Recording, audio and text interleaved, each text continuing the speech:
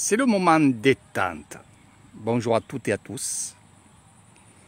La pêche dans les rizières. Pour ceux qui seront avec moi, eh vous pourrez venir euh, pêcher avec moi tranquillement si vous le voulez. C'est pas l'histoire de prendre du poisson parce que la plupart du poisson on rejette. On garde euh, quelques poissons, mais c'est l'histoire d'être dans la nature, comme vous voyez là. Voilà, au milieu des rizières.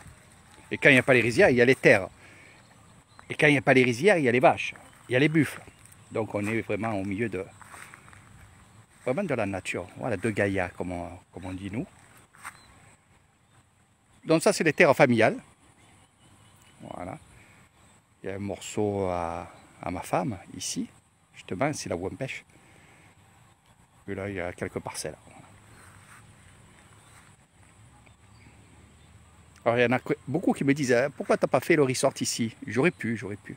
Mais non, c'est quand même à, à 5 minutes, à, 3 minutes en, motorbike, mais bon, c'est quand même éloigné. Il y a le village là-bas, vous voyez au fond là-bas.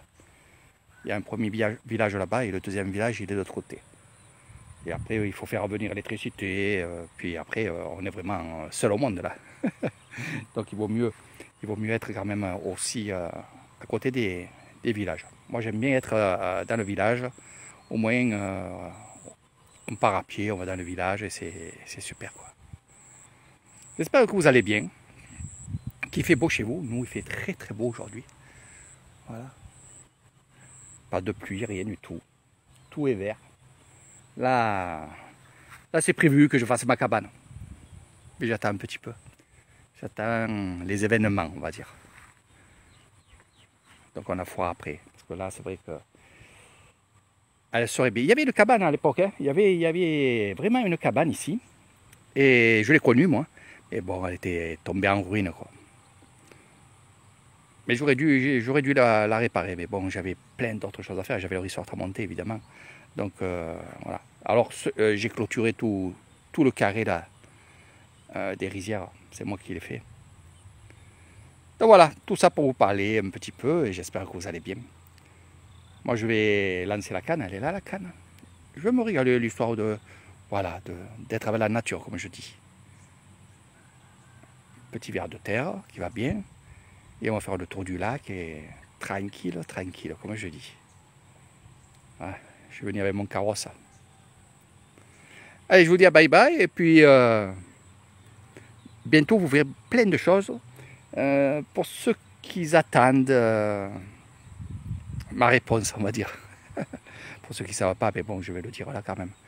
Euh, là, je suis en train de, voir, pour justement, parce que j'ai de la demande, pour justement partir du côté de Mogdan ou Nakompanon et faire un petit tour au Laos, dans un coin de paradis. Donc je suis en train d'organiser ça, je suis en train de voir tout ça.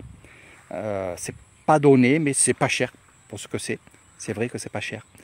Euh, moi, je le vois avec mes yeux ici euh, de Thaïlande, mais quand j'annonce les prix, on me dit que vraiment c'est pas cher pour ce que c'est. Donc, je suis en train d'y travailler. Dès que c'est au point, évidemment, je vous avertirai. Je vous montrerai quelques petites photos de ce que je compte faire. Et le parc que je compte faire, et je verrai pour les prix, mes amis. Parce qu'il y a aussi quand même le visa pour Thaïlande et, Laos.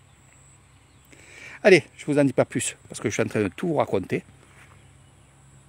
Et moi, je vais pêcher. Eh oui, mon fils, il y est déjà bas. Léo, il est en train de pêcher déjà.